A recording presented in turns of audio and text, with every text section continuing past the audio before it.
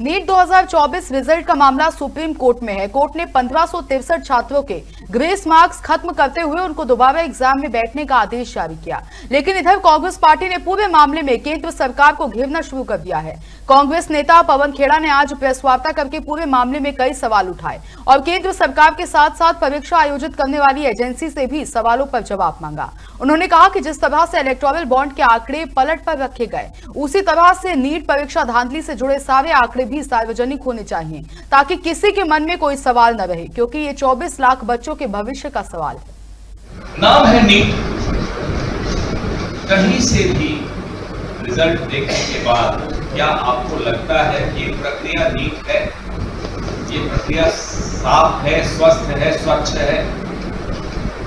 बिल्कुल नहीं लगता अगर ये आप आंकड़े देखेंगे। 24 लाख बच्चों का भविष्य धूमिल हो रहा है। पर पानी फेर दिया गया है इस परीक्षा के माध्यम से। पहले क्या हुआ? तारीख बढ़ा बार बार तारीख बढ़ा रहे और फिर पूरे सिस्टम की पोल 4 जून को खुल गई। पूरे के पूरे 720 आउट ऑफ़ 720 आउट ऑफ़ 720 आप पीछे आपके सामने स्क्रीन पे जो आंकड़ा दिख रहा है वो देखिए। इसको 67 टॉपर्स थे इसको 720 में से 720 आए इस साल। पिछले साल कितने थे? उसके पिछले साल कितने थे? ये तमाम आंकड़े ये विनीत जी ने हमारे रिसर्च करके मुझे दिया। ये बड़ी अच्छी रिसर्च इन्होंने की।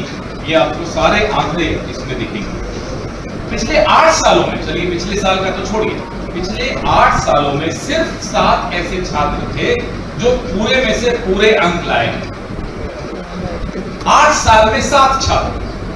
और एक साल में 67 छात्र ये अपने आप में चौंका देने वाला आंकड़ा। अब ये परीक्षा पे चर्चा से प्रेरणा मिली बच्चों को, ये तो हम मान नहीं सकते।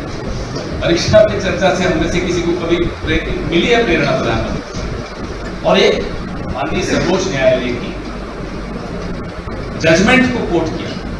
साहब, इस जजमेंट में ये कहा है कि अगर बच्चों को टाइम लॉस होता है तो वो कैलकुलेट करके इन्हें ग्रेस मार्क्स दिया उसी जजमेंट में ये स्पष्ट लिखा है कि इंजीनियरिंग और मेडिकल इसमें नहीं आते, इस कैटेगरी में नहीं आते, उनको इस तरह से टाइम लॉस के ग्रेस मार्क्स नहीं दी जा सकती आप सोचिए कि जजमेंट तक को ट्विस्ट करके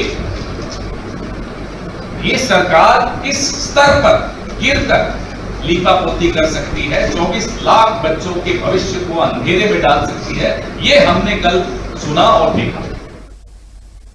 तो वही नीट एग्ज़ाम में हुए धांधली को लेकर स्टूडेंट लगातार देश भर में प्रदर्शन करते हुए नज़र आ रहे हैं। इस विषय को लेकर दिल्ली से संवाददाता शुभ सेठ ने कांग्रेस के वरिष्ठ नेता और मीडिया डिपार्टमेंट के चेयरमैन पवन खेड़ा से खास बात की।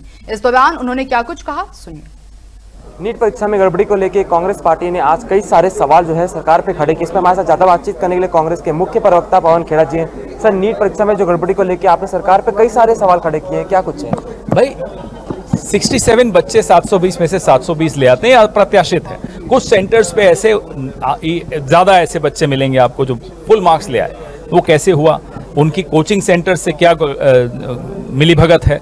ये तमाम तथ्य तभी निकलेंगे जब सुप्रीम कोर्ट की देखरेख में जाँच होगी। लेकिन सर शिक्षा मंत्री ने क्लीन चिट इसको दे दिया है। क्यों इतनी जल्दी थी उनको क्लीन चिट देने की? कारण बताइए। उनके पास सब जवाब हैं? जवाब हैं तो सबके साथ साझा कीजिए। सवाल कई खड़े करें मांगे भी क्या है? क्या कुछ मांगे हैं? महत्वपूर्ण मांगे हमने आपको कहा सुप्रीम कोर्ट की देखरेख में जाँच होनी चाहिए नीट की। थैंक यू बहुत बहुत बात करेंगे। हमारे साथ बात करने के लिए थे कांग्रेस के राष्ट्रीय प्रवक्ता Pawan Khera. M K news के लिए दिल्ली से शुभ सिंह